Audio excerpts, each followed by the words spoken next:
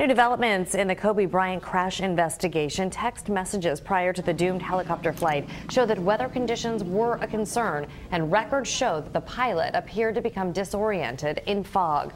Widow Vanessa Bryant wants Congress to pass a helicopter safety bill named for the NBA legend. Bryant, his daughter, and seven others were killed in the January crash.